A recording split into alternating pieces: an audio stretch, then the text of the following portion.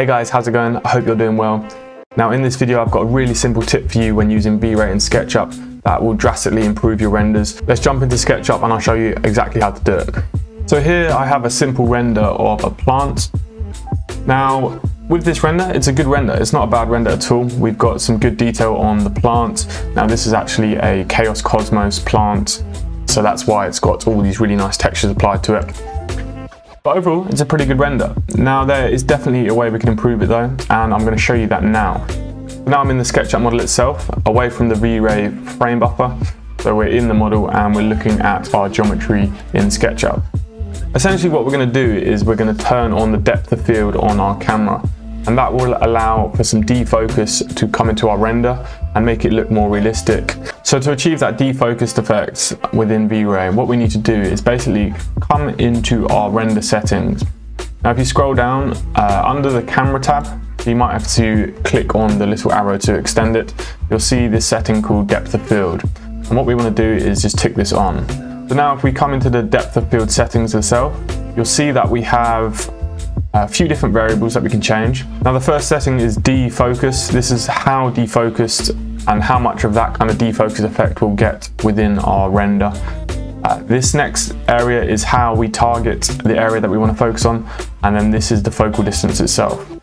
So I like to keep mine on fixed distance and then use this little pick point to actually pick where on our model we want our camera to focus. So if I click on pick point and then click on the area that I want to focus. So this is the area, it's the vase in front of me. I'm going to click that once and that will actually set the focus distance, th this variable here. With the defocus itself, having a higher number will increase that effect and having a lower number will decrease that effect. I like to put it around 400 for any kind of zoomed close-up shots where you want a nice depth of field. So for instance, we're focusing on this vase here.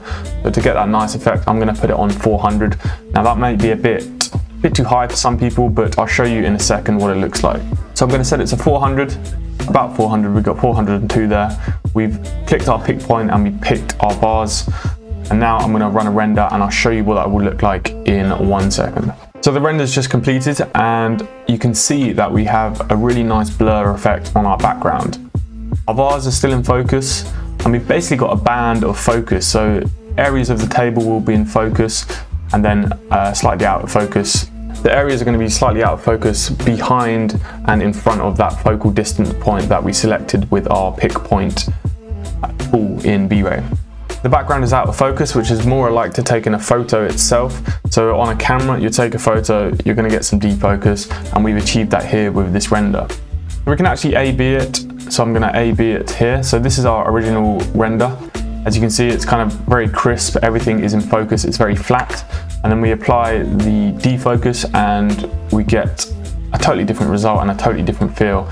But I think it's actually better. Now, some people may prefer this render as opposed to this one, but I think in general, most people will prefer the one with a bit of defocus because it has a, a, greater sense of realism and it's more alike similar photos that you may have seen in the past. So that's the quick tip on how to use the defocus and um, depth of field tool within V-Ray. I think it achieves really good results and I recommend you have a play with that in your SketchUp models.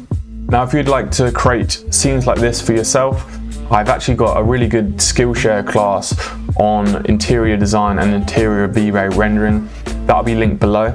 And I actually build this setting in that class. So if you want to know how I achieve this kind of lighting and setup, um, that'll be linked down below. And it's, yeah, it's a really good class and it should help you. Other than that, guys, I hope you enjoy this video. Um, please subscribe to my channel. I'm just getting started on YouTube and I'm looking to post a new video every week or so. Uh, drop a like and a comment also, that really helps me out. Other than that guys, I hope you have a good day wherever you are and I'll see you in the next video.